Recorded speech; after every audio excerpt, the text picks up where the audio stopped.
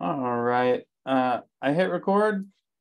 So we are now recording. Uh, if anybody doesn't want to be recorded, you have the opportunity to leave now.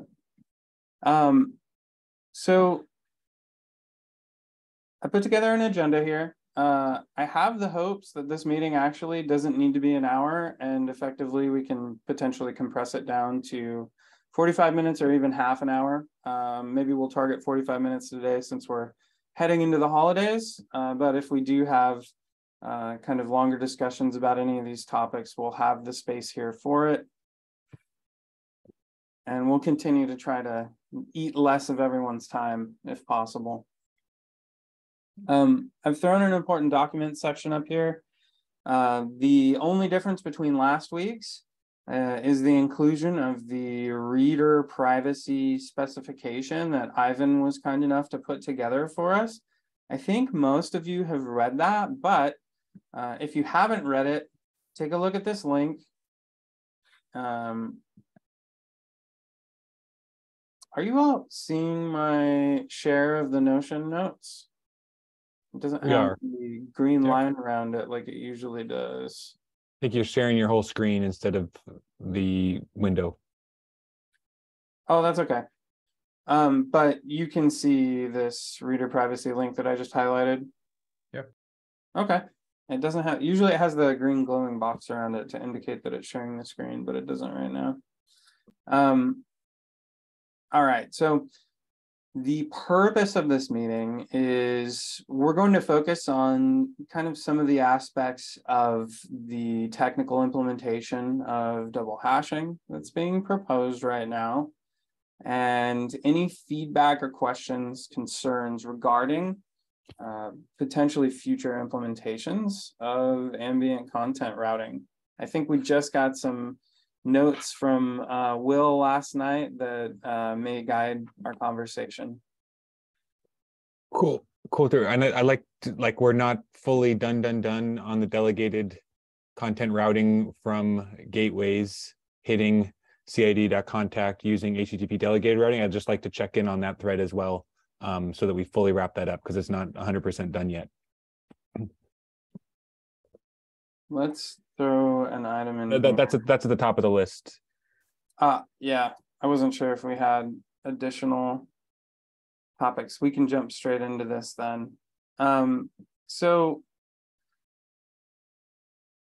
I, I can speak to this one if it if it helps. yeah, yeah, jump in.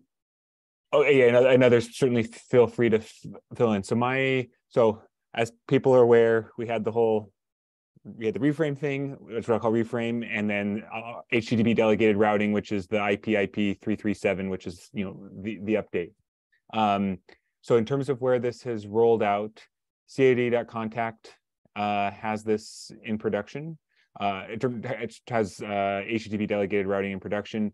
I believe uh, if I saw that, so if we, you can click into the issue that I linked above, but uh, Hydra's, um, I guess, hasn't deployed yet because he was noticing a problem with uh, CPU usage. So I think he's identified it and he's going to then deploy today. So we should get the Hydras deploying today. And as Lidel has listed here, Kubo 0.18 by default uses uh, delegated routing HTTP delegated routing hitting CID contact, and we're cutting the RC today. Maybe it's already been already been done. Um, so that that's all good. There's also the aspect of rolling this out to the gateways, and it looks like the gateways just recently deployed reframe integration um, from the IPFS.io gateways to CID.contact, but there's a follow-up deployment that needs to occur that uses HTTP delegated routing from the gateways to uh, CID.contact. Um, so I, I in in the sorry, if you go back to the notes, uh, issue two one eight three in sorry. Oh, sorry, you meant the notes in GitHub. no, no, no. Yeah, no, the Notion notes. Um, yeah, th- thank you, Masih. Yeah, two and eight three. Yeah, so I don't know. Like this issue was tracking the reframe rollout, but we need to again come through and do a rollout that actually switches to using HTTP delegated routing.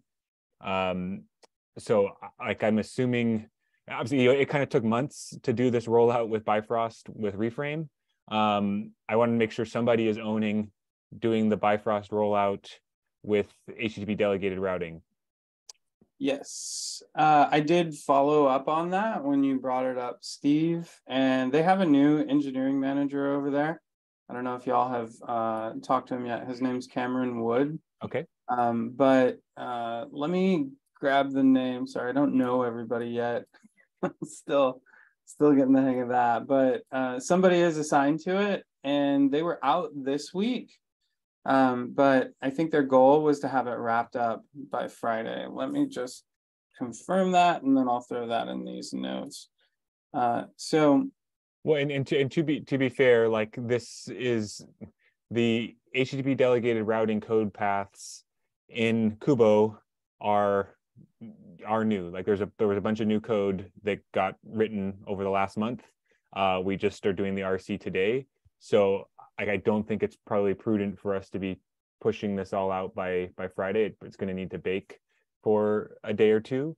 Um, eh, you know, at the minute, I mean, but point is like this is more than a configuration change. There is there is new code here, and so like I would want to make sure that Bifrost team is aware of that and you appropriate uh, sorry responding with appropriate care? Like obviously i would love to go into the break with this being fully um, done but we need to be safe. Um, and yes but i just m- most important thing is i just want to make sure it gets owned and it doesn't fall through the cracks for two months. Uh, it is owned. Uh, so mario camus is on it. Hope i'm saying that last name correctly. But uh, I can check in with him and just make sure that the scope of work reflects um, in, entirely what you've uh, described, Steve. If if you want to, okay. Um, if you have, is the entirety of what you just described in the GitHub issue that I can walk through with them? Uh, I think, I mean, the, the, the points are there, just that I want to make sure we end up using HTTP delegated routing from the gateways not reframe. So I think that that point is in my comment. Yeah, and, yeah, no, that, that there's not there's I mean it is and it's also mentioned that this is new in Kubo 0.18. There isn't I didn't add a disclaimer of like, hey, this is new code paths. Don't rush this out. Like do your they should be doing their normal, you know, monitoring flow as changes roll out. That matches the scope of work as described when I was discussing okay. this with Cameron, but I haven't had a chance to talk to Mario specifically yet. So uh, I'll, I'll check in with him here Monday when he's officially back in the office, mm-hmm. um, and we'll um, we'll clarify that's the case. Maybe it was this Monday. I'll I'll double check today to make sure that we don't have access to him. Cool. And I guess my last question on the CID contact side, I assume you all have like server side metrics, um, for, you know, for this new endpoint. You know, I haven't checked. Um, Masih, can you speak to that? Do we? I'm sorry, I got cut off for a few seconds. What was the question? Oh, I just want to make sure you have server-side metrics for the HTTP delegated routing endpoint that was that was added.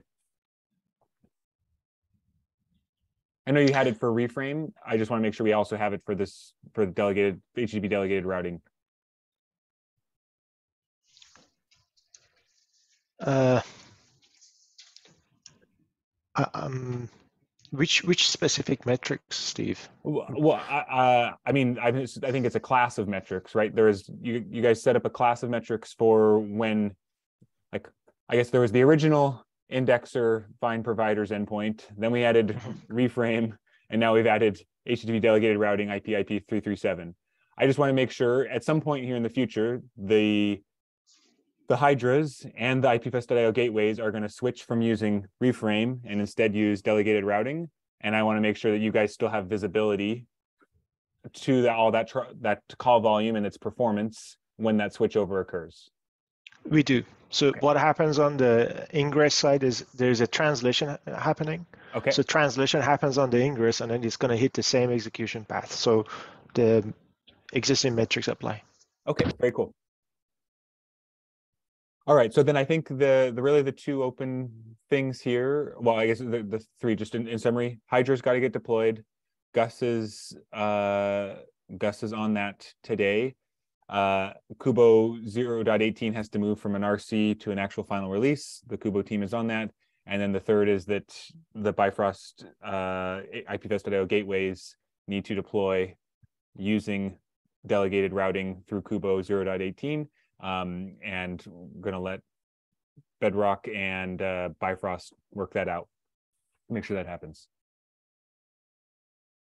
Yep. Cool. Okay, sounds sounds good.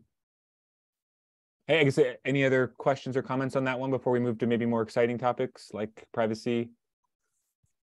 I have a very quick one. Uh, are we tracking only GET or are we also tracking other HTTP methods? Only GET is supported on CID.contact, right? There's no puts. Uh, uh, well, Kubo 18 will start sending puts. So would it be useful to start tracking that?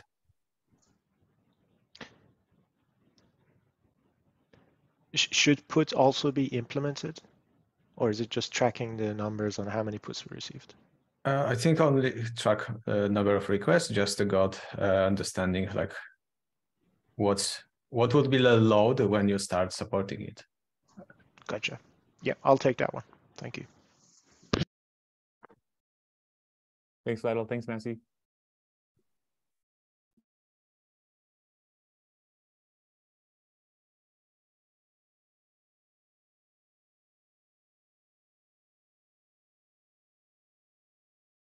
All right, let's jump into the exciting topic. Uh, double hashing design pathway. So we have the reader specification. Has everybody here had a chance to read it? Don't feel bad if you haven't. We can take a moment and kind of parse through it if that um, benefits the crowd. If everybody has read it, uh, we can just jump into the discussion topics. Thumbs up. Any other thumbs up? Everybody giving it a look? Thumbs down. Let's pull it up and take a look at it. Yeah, it's it's fine. I mean, I, I haven't read it, but if I don't want to sl slow things down, if if everyone else is already paged in, nothing's faster than everybody understanding what we're talking about. okay, cool. So are we just going to take a few minutes to give everyone a chance to read? Yeah, let's let's give it um let's give it five just to be safe, and uh, we can jump in if y'all want to throw questions while you're reading into uh, either comments on the notion, or you can throw them in chat and I'll aggregate them later.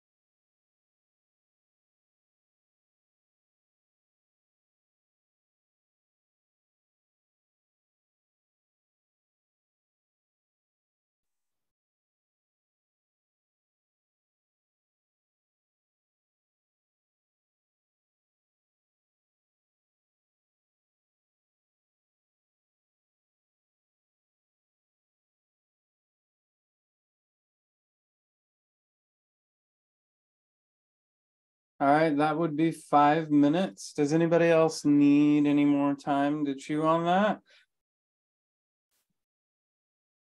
We can kind of go through it together as well. So off the top, I didn't see any questions in chat. Did anybody have any questions they'd like to throw out there verbally? Now's a good time to do that. One just to make sure I uh, understand this is for the the non-private version that we have today you can get you, we do content and peer routing in one call right so we have one round trip and this effectively is going to add two round trips when you go to yes exactly mode. Cool. Uh, well so we can reduce the second round trip eventually so if the clients have a cache of the provider uh, mm-hmm. like addresses then they can avoid doing second round trip Okay, make makes sense. Yeah, I think that's. I mean, it, it makes sense. I I just think I would just make sure that's called out. I think that needs to be emphasized more. Again, it's not to. I don't. I don't want that to be a surprise to someone later. Uh, you know, because obviously so much of the push to around using indexers was around about reducing round trips uh, and you know to minimize um, uh, sorry, to, to minimize uh, speed of light impacts. And you know, we we absolutely legitimately have to add one here. It obviously will get better when we ha have client side caching, like you say. But I just think that should be you know, more highlighted. Yeah, sounds good. Uh, great point, Steve. So we'll uh, add this in. I will say uh, one thing I wanted to draw your attention to, Steve, that I didn't see from the original comments is that upon testing, we're seeing pretty significantly reduced performance impacts. So now that we've got a POC that we're testing on, we had originally stated a 10x impact and we're drawing it down to 1.5x. Obviously, that's not in production. So, you know, we want to be wary with advertising that broadly. But uh, I think the team's pretty pretty confident with what we're seeing presently. So that is kind of a positive side of this. I think it's been a an improvement, and I thought it was worth calling out. Yeah, that, that that's cool, guys. Good stuff. So, does anybody have any concerns about the scope of this implementation or impacts potentially to other services outside of um, what we're doing with the indexer itself that they'd like to bring up? Um, I, I have like a meta question or, or suggestion for the spec. Uh, kind of like having a threat model section clearly describing what's the threat model that we are protecting from. I think that would benefit would be like really make it easier for people to engage in this discussion. Uh, because there are like multiple specs uh, which are not uh, in the scope. Like the writer privacy is not in the scope. The retrieval privacy is not in the scope.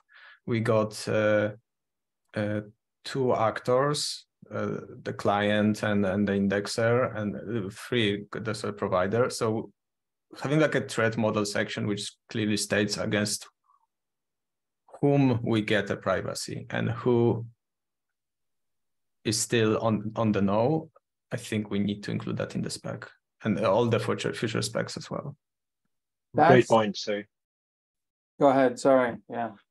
Yeah, yeah. So uh, thanks. Great point. So uh, I will edit add the two. Yeah, because uh, kind of like another meta thing is like the, that type of questions were, were, were like asked from uh, partners like Brave. They are like super uh, privacy conscious and their security team that's the first question. So having that written down as a part of spec will avoid like round trips across the orgs. So good to have partners isn't it? Always ask good questions. Yeah. This is a good perspective. Lidel i dropped a white paper that i was recently reading into the um into the chat i think that speaks specifically to some of the kind of potential malicious actor activities that we're, uh, I think, addressing with this enhanced capability. but I'd be curious to hear your opinions on that. Yeah, I don't want to like block uh, block this call, uh, but just uh, yeah. adding a section and like referring to all the literature would be also beneficial for the spec.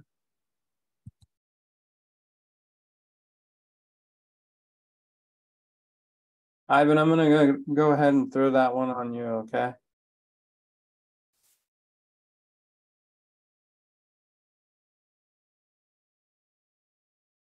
Yes, sounds good. I guess ProbeLab folks, do you have any questions or about what's happening here? Maybe you've already been in the loop. I know you've all been very involved in privacy measures, particularly on the DHT. Is there anything else that sticks out to you? Um, so, something that um, sticks out to me is the so so maybe that's not very relevant. I would just put it out anyway. So there's this um so in the spec um it says ha like it's hashing something everywhere. Do we double down on a specific hashing function? Do we also use a multi hash for that? Do we um is there some upgraded upgrade path for the future um that we should keep in mind here? Just some questions. Yeah, so great question. So, so we specifically uh, left the exact encryption hashing out of the out of scope. So basically, we just exactly aligned with what uh, DHT implementation is to make sure that they use exactly the same thing. So at the moment, it's like SHA-256 for hashing and uh, um, AES in GCM mode, I think, uh, for encryption. Basically, the same that uh, DHT implementation is using. Right, right.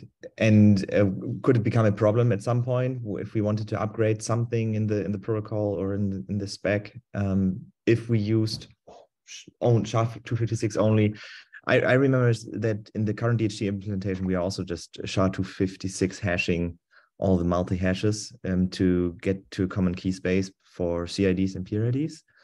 And I actually don't remember why we did that. I think it's just to to arrive at the at the common key space for for both types of um, like PRDs and CIDs.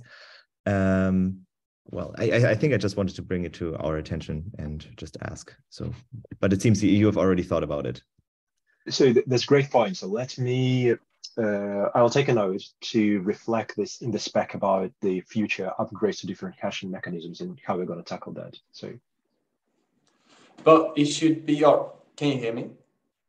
Yes, I hear you. Okay, yeah, great. So it should be, so basically the last hash, so here the second hash should be the same hash that is already, let's say, unifying the peer ID space and the CID space.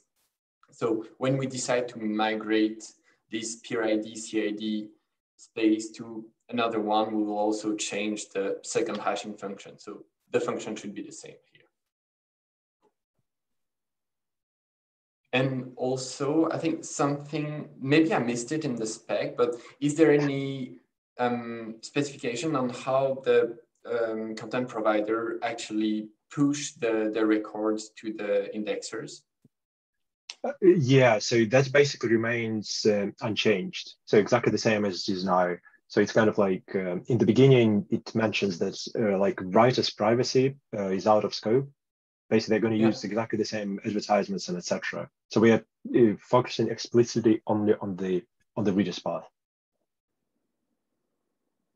Does it make sense? But yeah, go ahead.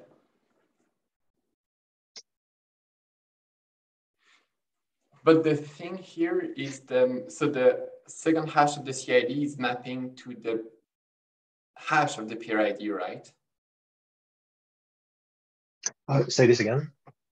So um, in this case, so the clients are going to request the hash of a CID, and the indexer uh, yes. are going to reply with the hash of the peer ID of the content provider. So uh, the clients would send requests uh, hash of the uh, hash of the multi-hash from CID. Yep. And the indexer would reply with encrypted uh, ID.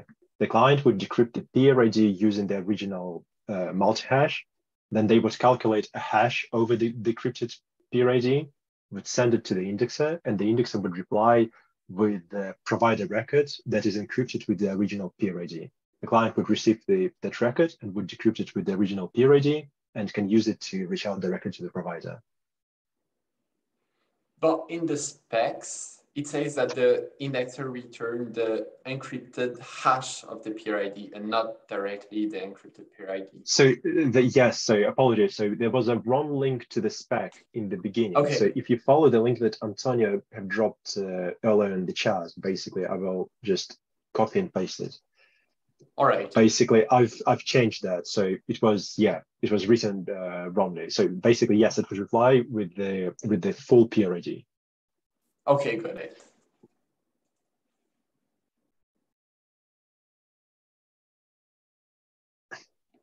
Yep.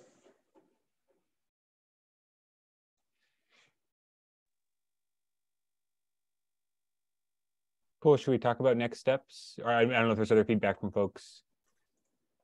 Yeah, I have another question. Maybe it's, it's like for the next steps, like if someone is providing CIDs to the indexer, then to be like fully um, giving privacy to the user, they must provide the hashing of the multi-hash, right?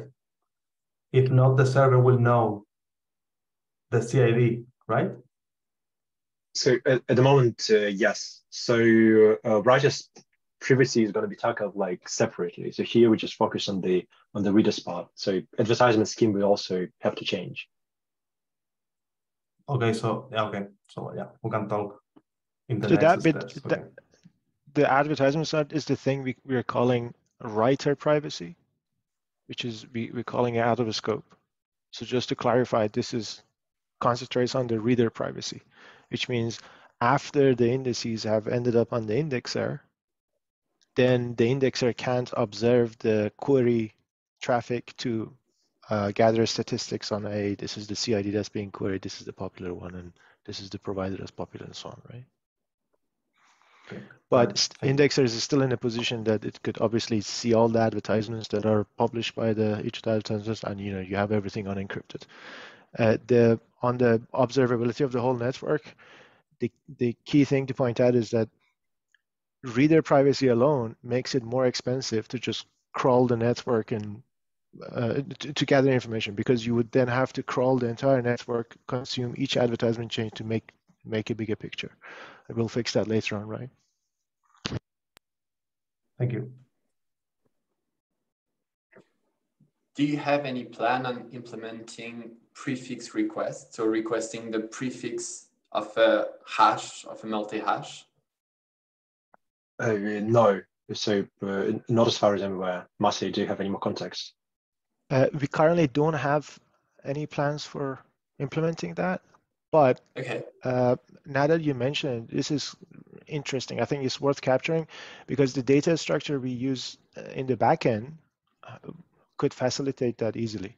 You know, we don't have to do extra engineering to make the prefix-based lookup possible. We just, we just have to expose it. Yeah, it's actually just range, just querying for a range, and that's it. Right. Okay, great. So that's what we'll be doing on the DHT. Uh, let me add this point into, so I will just reflect so that uh, we we've thought about that. So good point. And sorry, real quick, what what's the use case for that, um, Guy? Uh, it's just to get K anonymity on the request, which is so, and get plausible deniability. So when I make a request, I'm not requesting exactly the CID I'm looking for, but the prefix of it. And then either the DHT or the indexer should return me all of the provider record matching this prefix. So it may be, I don't know, five or 10 or two. And so that the entity giving me the provider record will, will not know exactly um, which content I'm, I'm accessing. Got it. So there's a small network overhead, but yeah, it's a big privacy win. Okay, in, in, in- interesting. I'll I'll ask more on that another, another time. But okay, very good. So I know we have some people dropping off, and we're getting closer to the end. Should we talk next steps on this? Um, yeah, sure. So uh, where we are, so we do have the spec. So I will add a few bits and bobs that are missing that we discussed. Uh, we do have a PR already that implements uh, the proposed change against the uh, data store that we use uh, in indexing. So we do have performance measurements, uh, kind of like there is an MVP for that. So PR, the PR needs to be brushed up. So we need to think about migration. So there are data migration. There are no unresolved change, challenges there. We just need to sit down and discuss what would be the best path for us, the easiest for to migrate the data over. So given the current state of the things, so I think we're like on a on a good track to have like uh, the production indexes service uh, with double hashing running like end of Jan, like somewhere like end of Jan, mid Feb, something like that. So there are no like uh, mm-hmm. as far as we are aware, I mean there are no unresolved uh, challenges. It just uh, yeah, just requires some more engineering effort. Cool. Okay, great. Yeah, and then there's obviously the client side getting it into things like Kubo or other IPFS implementations. So yes, then the Meta is going to be integrate clients with the with this implementation. So we're also probably going to implement uh, a client library, some client library for to do these interactions. Cool. And is the thinking is is this going to is the thinking that this is some sort of uh, Go library that something like Kubo would con uh, consume, or is will Kubo go write its own uh, Go code to this HTTP API?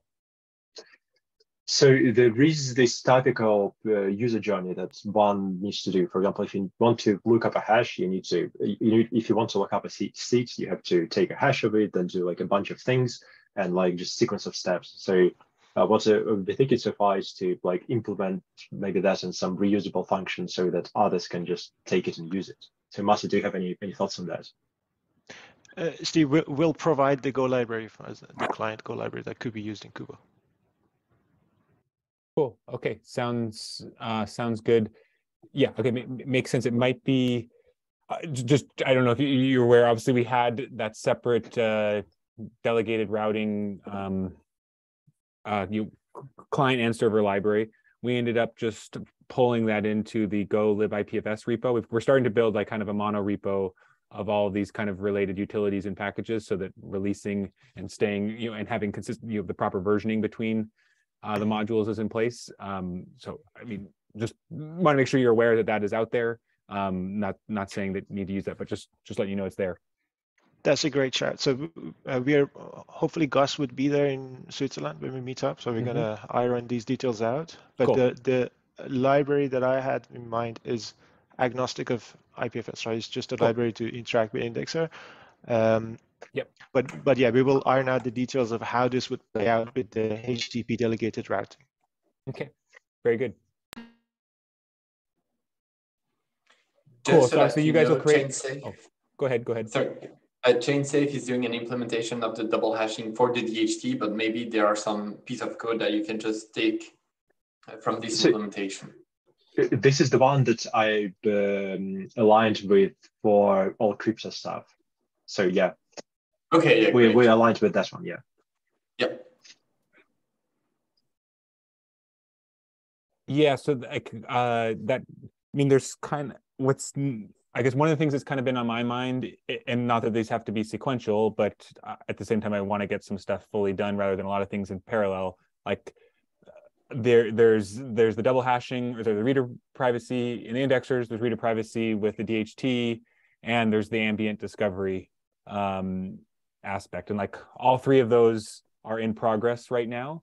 I guess I'm I'm partly I'm partly curious amongst our, I guess, the three teams represented here in terms of how we're prioritizing these. Like, kind of what's what's the sequence that we would ideally want to land? Is there a way for us to double down on some of them to get them done quicker rather than having all three go in parallel? My vote would be reader privacy. We can, I'm confident we can land that. Yeah. Also, mm -hmm go ahead. Yeah, just like a small pointer to Masih that the um, uh, reader it's not uh, either or, so we can basically serve both paths. We can serve normal path and uh, private path when we when the things land. So it doesn't have to be like migration, like just cut off. It can be gradual migration of clients. I was taking the push there from Masih of like, let's focus on the privacy related changes ahead of like ambient discovery changes Um, obviously, still within privacy, there's uh, it is at least client ends like Kubo. We've got to think about DHT and indexer. Um, but I, I think I, I would agree. Like let's let's land the privacy work ahead of getting caught in specs around ambient discovery, et cetera. I want, I want to solve that too, but I'm fine for that to be the follow up. I think that's also kind of in alignment with the feedback that we got from leadership, right? Yeah, that's right. Cool. Well, and so I, I know we don't have an, a thing on, I don't know if we had an an item on the agenda about kind of the DHT side of reader privacy. I didn't put that here, but um, we can get into that topic for sure. like Guy, I don't know how much this audience is paging. I don't know. And I, I, again, if there's, I'm asking some dumb, dumb questions, just let me know. It sounds like ChainSafe is also involved here. Do you want to just kind of give the update? And I don't know if it makes sense to pull any of that crowd here. Like this is intended to be kind of any, not, not that all, not that all conversations about content routing have to be here, but like we want this to be open beyond just PLN dress groups too. Yeah, sure. So um, basically, so there was a first design of the spec that ChainSafe is currently implementing. So the implementation is mostly done and they still need to figure out test ground for the testing. So it's still kind of hard to test the implementation at the moment, but most of the work should be done. Um, we figured out that there is a small privacy concern in the initial design. So the design would require some more work. So either we could go ahead and migrate what we already have now, uh, let's say as a first step, and then correct or you just finish the design and implement the, the, the second version to correct this um, small privacy default and push the second change in a second step. But at the same time, we really want to minimize the number of DHT migration because that's painful. We need to duplicate the network, which means that uh, all content provider will need, so during the transition period, to publish content on both the old and the new DHT, which we want to avoid. And the clients will want to request content from both because they don't know where it's stored. And so we want to really minimize the number of migration. So my stand is more maybe it's worthy to wait a bit. We can already ship the reader privacy for the indexers uh, because we don't need to wait for the DHT, but maybe have one single large change for the DHT, including um, an upgradable DHT design, which will allow us to then uh, migrate pain, uh, painlessly the, the, the DHT for all future migration uh, concerning privacy or other designs.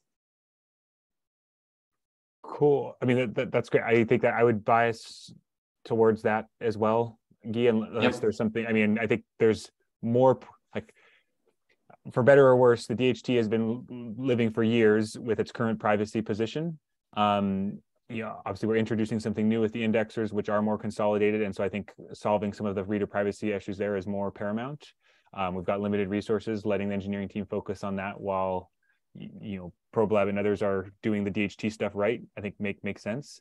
The do we have is there an IPIP with the DHT?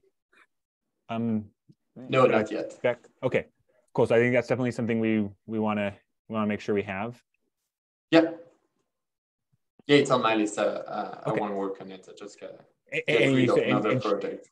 cool. Okay, and ChainSafe is doing the implement is doing implementation work here. Yeah, exactly.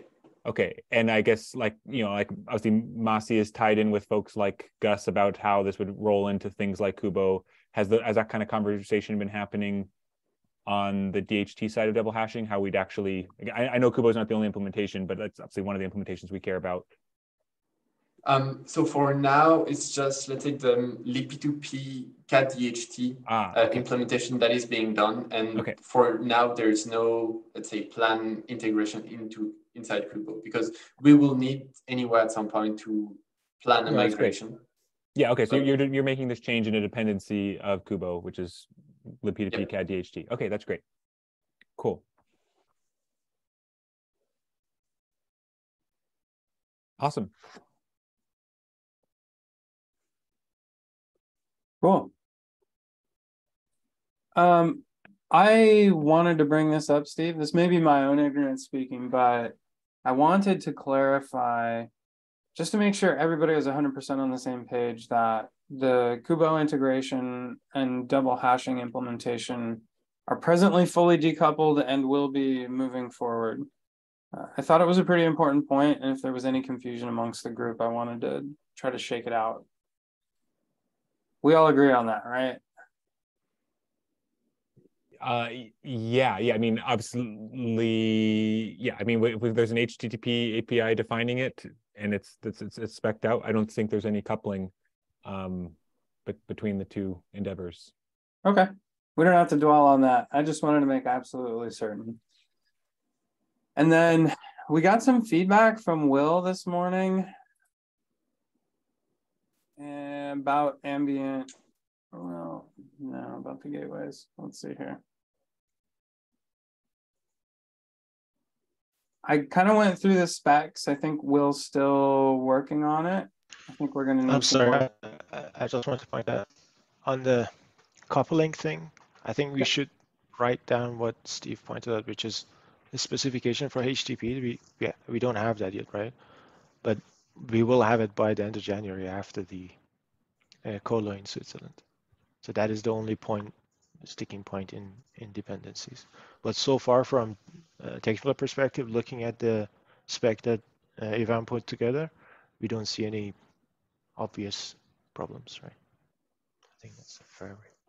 Does that make sense, Steve? Yeah, that that that that's right. Again, I would I, I know he, it didn't seem like Lidel was calling anything out. Again, it's, we're talking about HTTP APIs here, so I feel like if we've got the API, we're gonna be we're gonna be fine. Um, yeah. Cool.